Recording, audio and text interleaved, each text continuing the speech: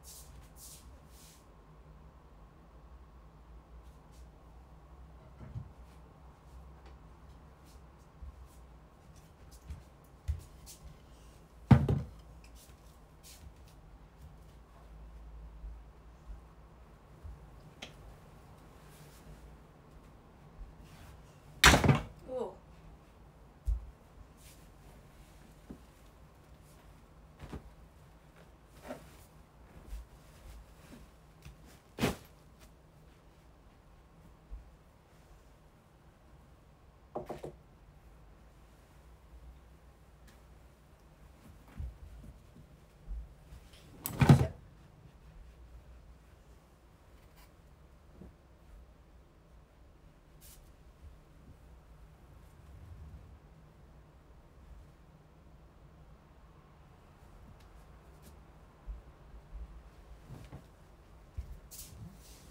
し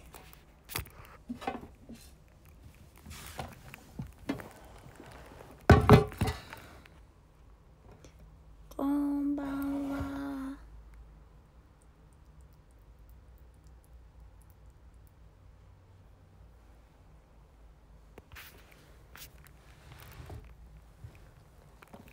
三ツ矢サイダー。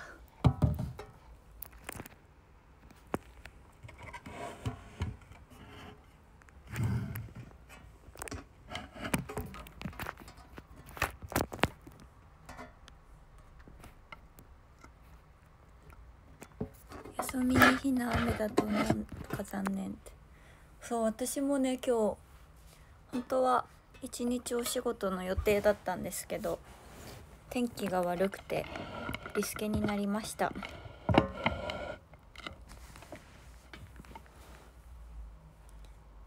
雨すごいですよね今日。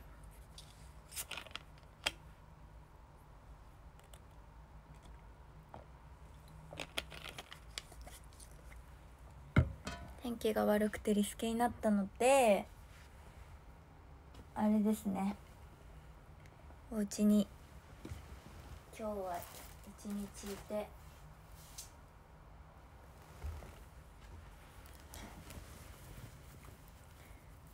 おとなしくしております。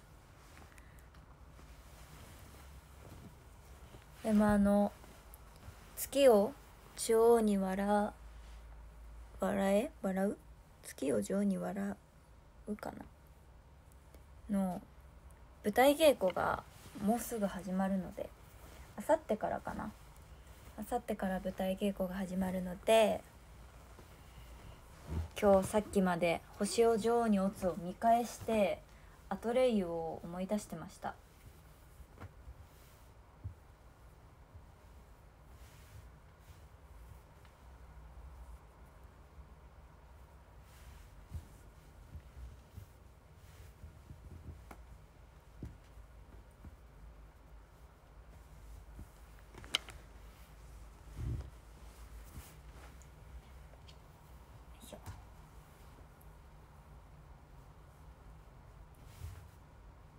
日も一日お仕事なのでまあ本当はねもう11月頭からずっとお仕事お仕事の毎日で。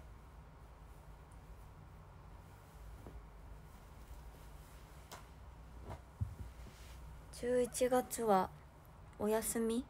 オフが一日もないって感じだったんですけど。天気の都合で今日リスケになってオフになったので。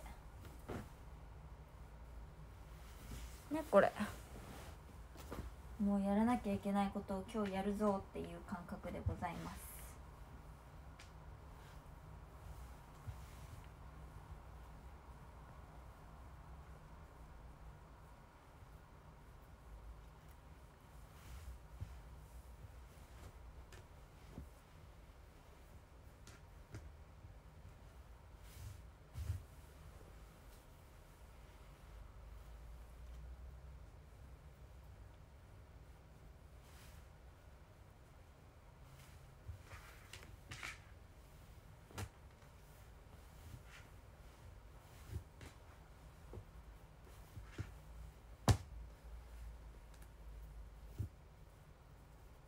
よし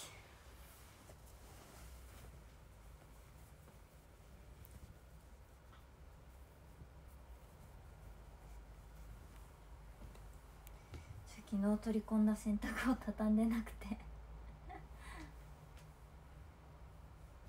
今更畳んでます。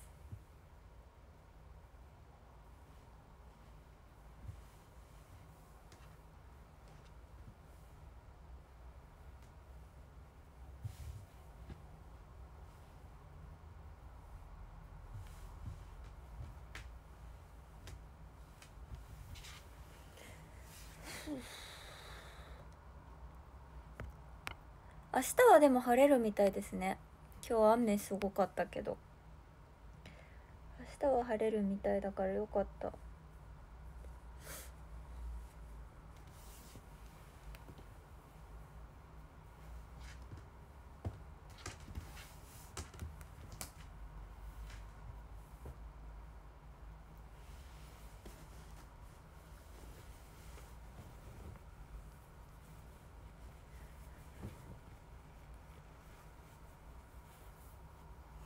なんかトレイユの星を女王に落つ見返してあトレイユってこんなにひょうひょうとしてたっけ？みたいな。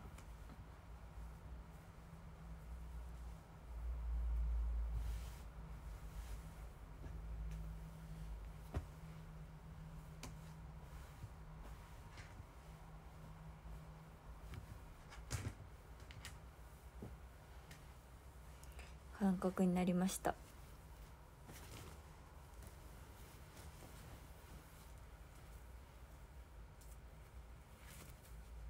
て私のズボン。かわいいチラピケ。これとセットアップです。コーギーがいっぱい。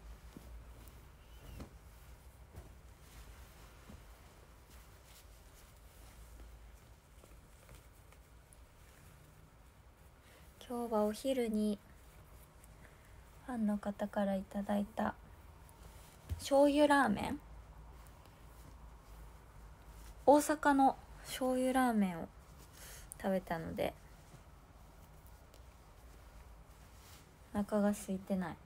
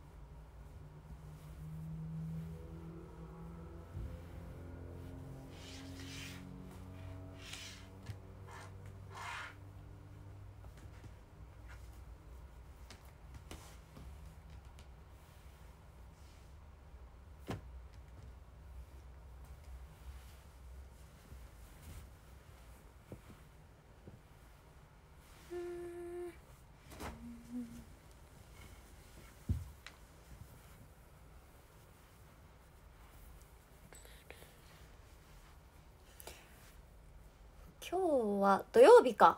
あそうだ。今日コミチャンネルだ。ねえグーグル今何時？時刻は16時55分です。あと2時間後ぐらいか。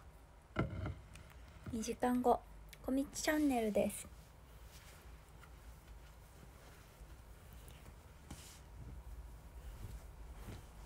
今日は珍しくお話ししている動画でございます。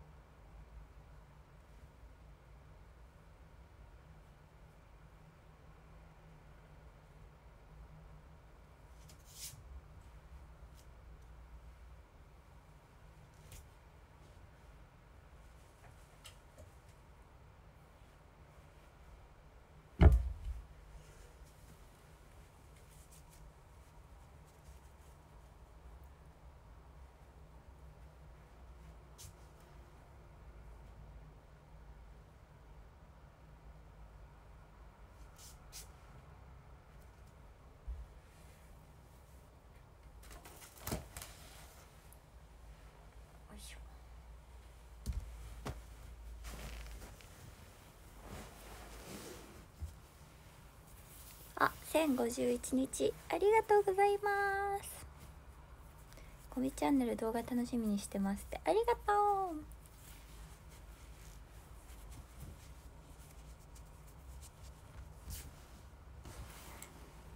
う。よし。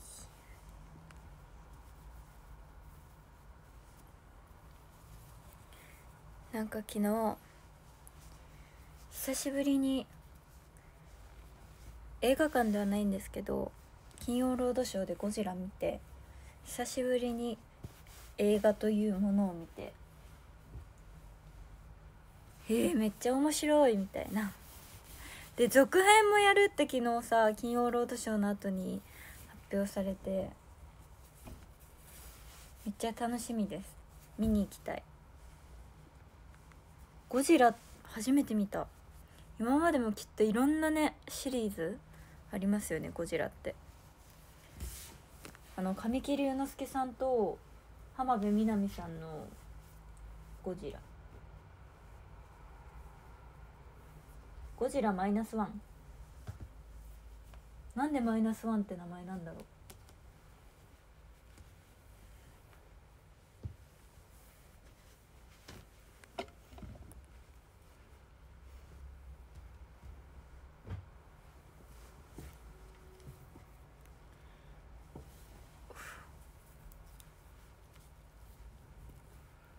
ほい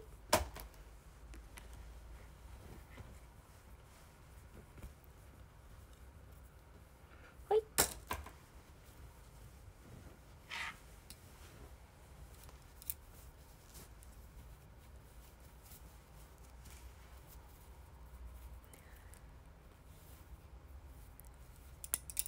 昔々のやつしか見たことないって。えどんな話なの？毎回。なんかさ今回はあの戦争だったんですよ。戦争の特攻隊の方があの神木隆之介さんで戦争中にゴジラが現れてで戦争が終わった日本にまたゴジラが現れてみたいな。で僕の戦争はまだ終わってないみたいな。いうので神木隆之介さんがゴジラを倒すために頑張るっていう作品だったんですけど。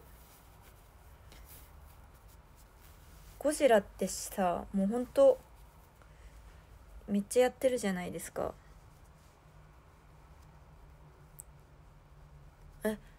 昔は人間のドラマほとんどなくて怪獣の戦いだったんだ。ええー、ゴジラ VS みたいな。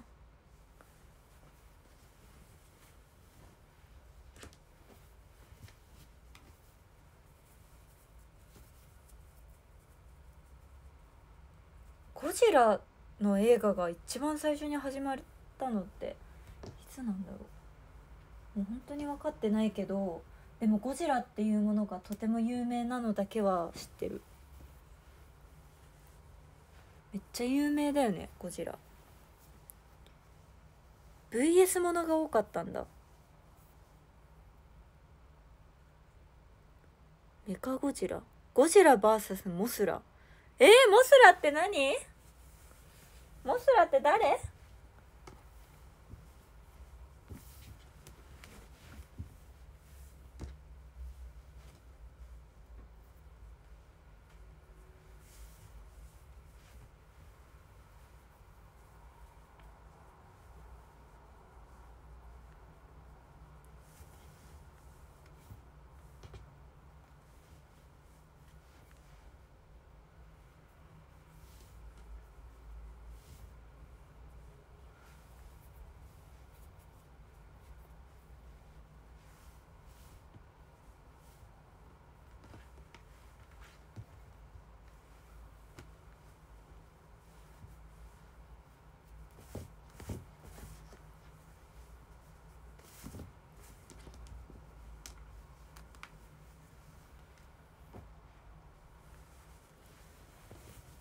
よし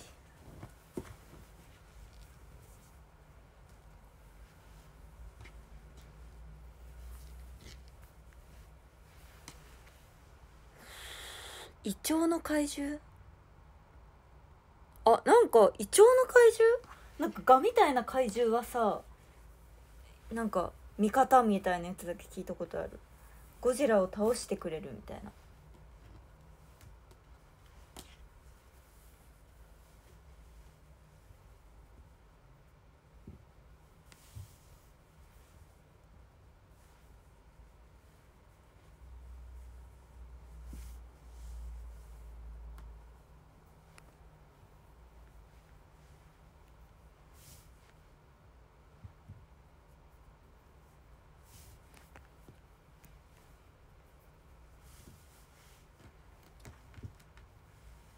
よし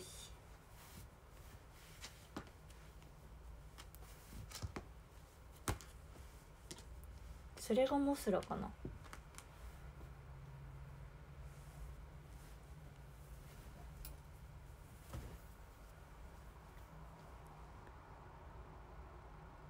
えー、ゴジラの子供のミニラが登場する回もあったよ。ゴジラって子供いるの？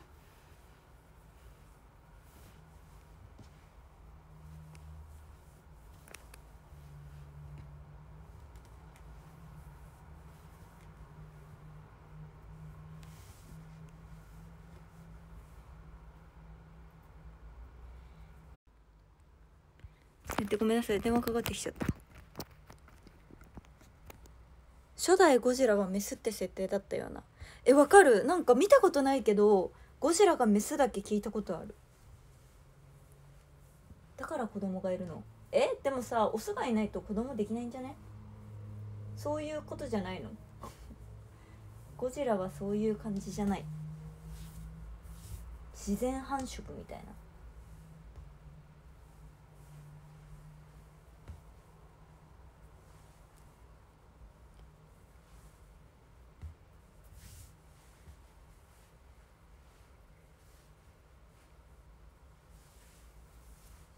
か今日洗濯物全然うまく畳めないんだけど何これ。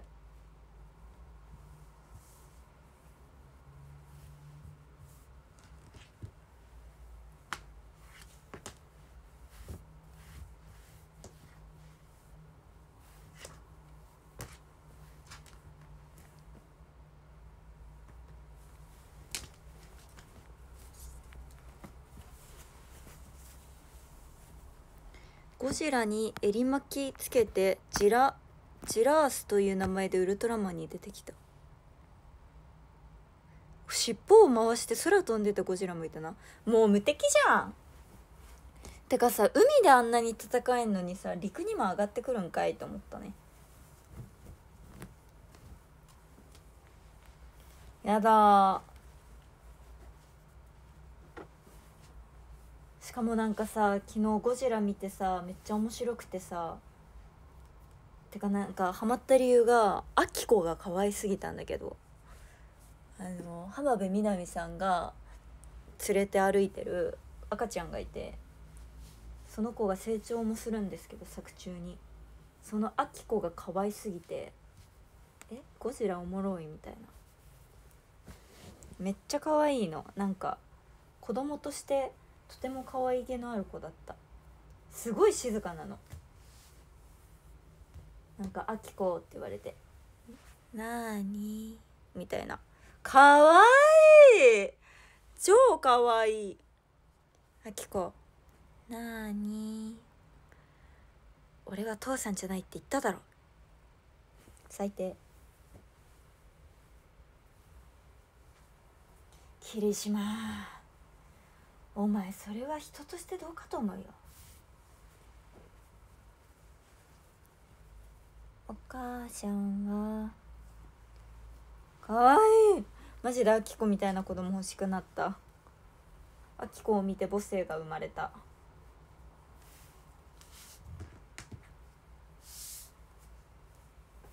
でなんかさ最後さ最後のシーンのアキコの表情あアキコの表情これなんやって見ながら思ったんですけど私も。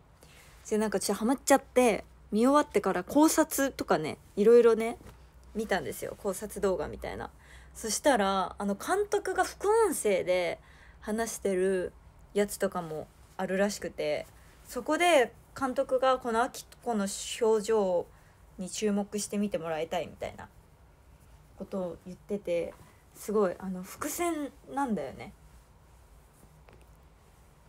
ええー、と思って。なんかママにもともとめっちゃ勧められててあの「ゴジラマイナスワン。見て面白いからみたいな。でママからもともとね全部聞いてたんですよ話。えいいよ話してって。話したいみたいに言われていいよ話してって見てないけどって言って全部聞いててで全部知った上で見たの。なんかどうなるかとか。で昨日も金曜ロードショー今日「シン・ゴジラだよ」「シン・ゴジラ」じゃねえや「ゴジラマイナスワンだよ」みたいな「見て」みたいな。ママから来てて。でマジで感動するから時間あったらぜひ見てほしい。金曜ロードショーみたいな。すごい宣伝されててママに。で見てで最後の「お？っ?」てなった気づきと自分の考察考察動画自分で調べてみてあやっぱあそこの表情ってちゃんと意味があったんだみたいな。でママにねその考察 YouTube を送ったのこれ高校らしいよみたいな。したら「全然気づかなかった」って。気づいてなかったんかい。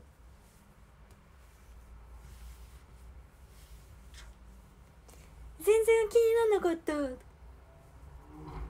全然気づいてなかった。でも結構いたな。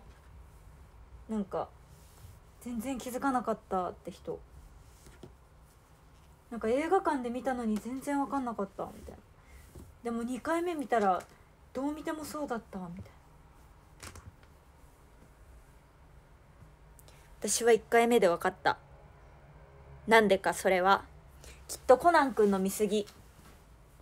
コナン君の見過ぎでなんかすごい疑いの目を向けながら映画を見ているかもしれない。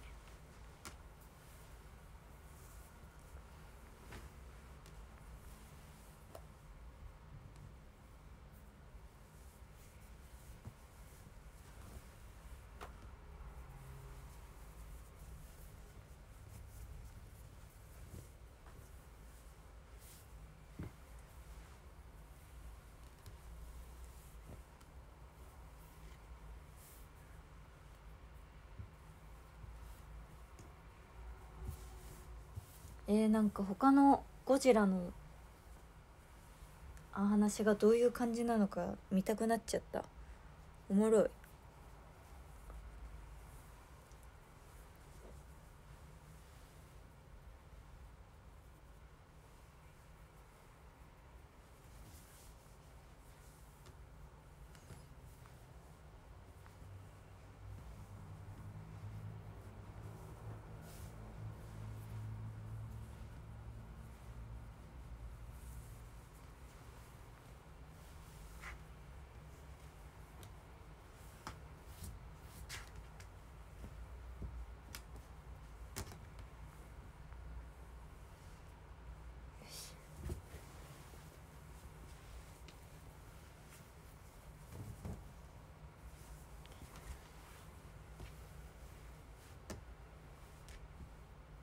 なんかさゆいりーさんの生誕 T シャツをいただいてなんかシンプルなねデザインなの。黒になんか英語で裏にリンゴのマークポンみたいな可愛いから着てるんですけど L サイズなんだよね。全員一律で L なのかな？メンバーもファンの皆さんも。なんか生誕 T シャツファンの方が作った生誕 T シャツって L じゃない？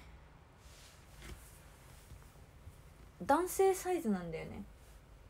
だから私のパパとかママも着てんだけどママはね茂木さんの生誕 T めっちゃ気に入ってて。パパもね誰かの生誕 T 着てる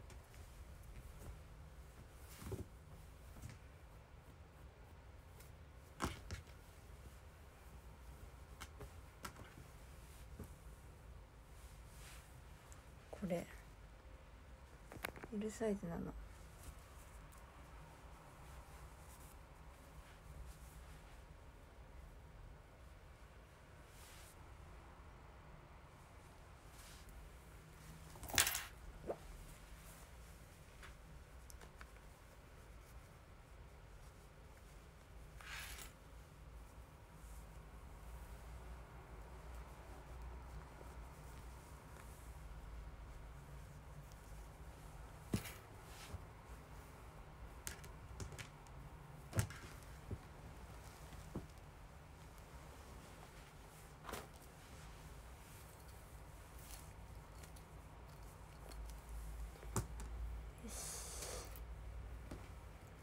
明日はね早起きなんです。だから絶対寝落ちせずにお風呂に入っておかないと。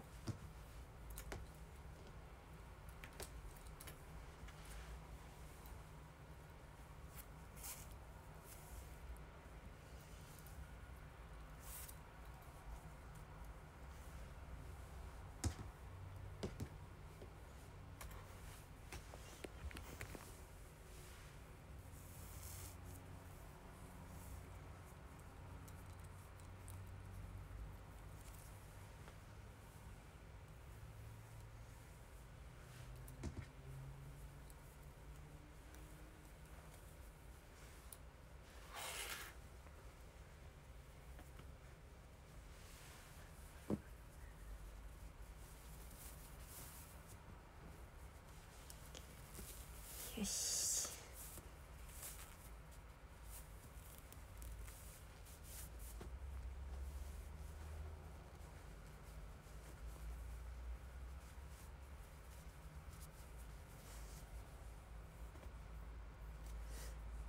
え？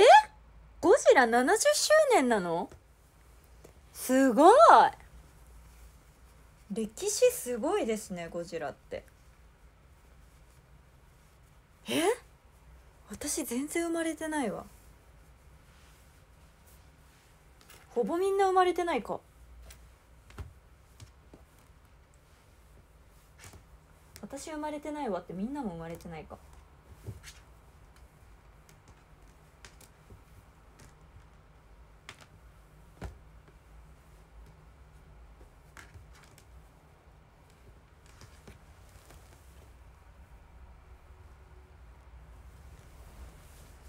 えー、びっくりですね。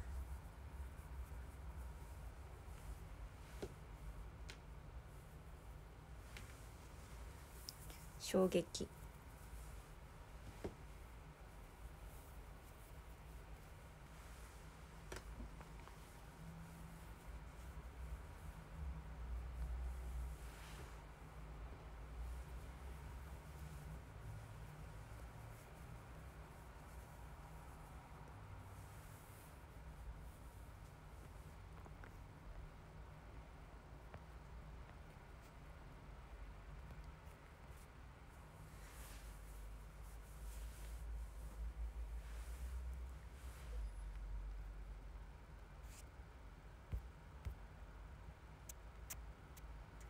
関東地方雨が接近中？ん？もう雨だけど？明日晴れるよでも。天気予報的には。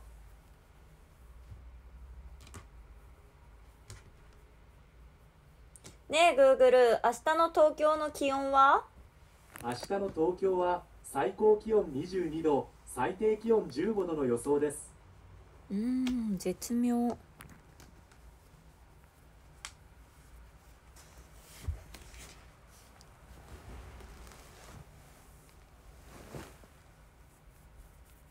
それは寒いんか？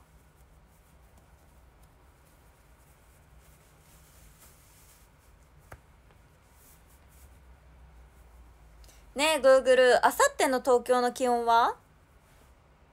月曜日の東京は最高気温24度最低気温11度の予想です。24度だって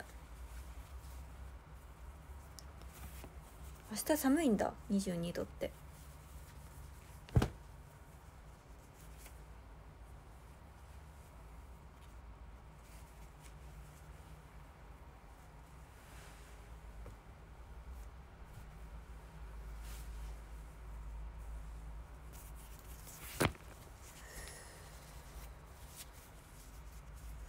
今日は？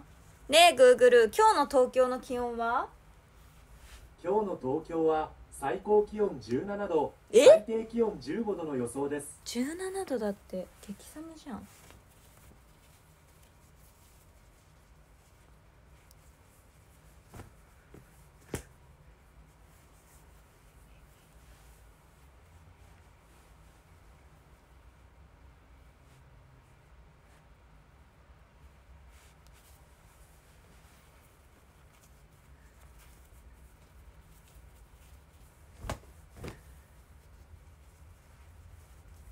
17度ってもうニットとかぐらい？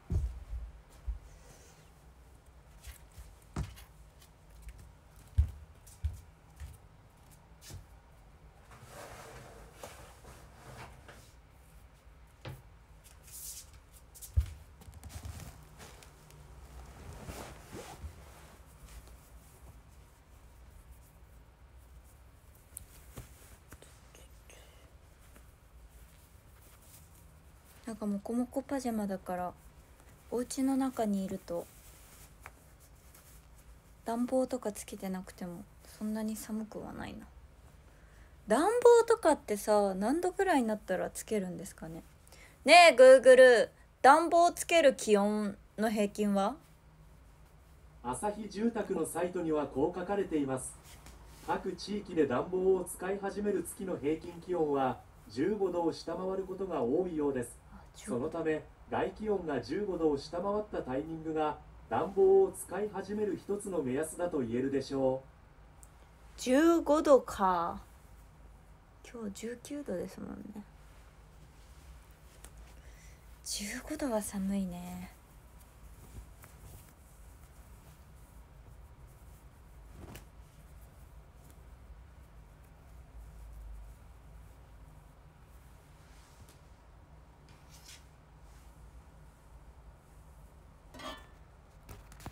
グルめっちゃ優秀なんですよ。ちょっと一瞬。